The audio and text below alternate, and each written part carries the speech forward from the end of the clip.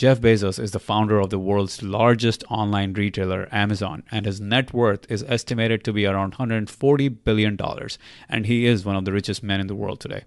One of the biggest success lessons from the life of Bezos is the understanding that failure is essential for success. A big example of Amazon's many failures was Amazon's Fire Phone, which was a complete flop. It has been a black spot in Amazon's history, and a lot of investors started to question Jeff Bezos and asked Bezos why Amazon was investing in stuff like this. When a reporter asked Bezos if he was worried about the big failure of Fire Phone, Jeff Bezos responded by saying, If you think Fire Phone is a big failure, wait till you see even bigger failures. There will be a lot more bigger failures. Jeff then went on to say, We have to conduct experiments. We have to keep on experimenting. We as a company have to allow ourselves to fail. He explained that any experiment has a chance of failure. That is why we call it an experiment, Jeff explained.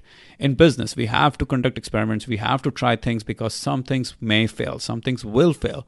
If we only try to do things that we think will succeed, we're not conducting experiments. And if we don't conduct experiments, we will never find out how far we can go. Jeff Bezos said that if he stops his employees from experimenting and if he dissuades them from failing, then he's doing the company a big disservice. So fail often, fail rapidly, and figure it out. Failure is a part of growing your business. If you're not failing, you will not get to the next level.